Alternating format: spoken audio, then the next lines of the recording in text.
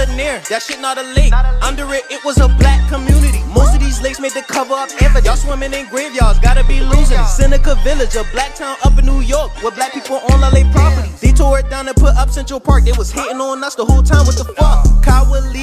Kowaliga. Black town in Alabama destroyed. Now it's Lake Martin, Santa, another town under that lake. Those is black Wall Streets. We can never be great. Vanport, Oregon, another black town got flooded. Now that shit Delta Park. Where's our reparations? What the hell? These crimes need a punishment worse than jail. Warren in Baltimore, Maryland, a community that was black ran. And guess what them niggas put over it?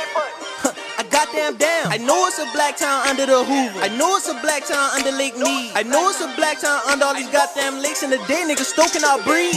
Got my ancestors under the sea. Got my ancestors buried on trees. Where the fuck is my goddamn money? Y'all paying these taxes, but what about me?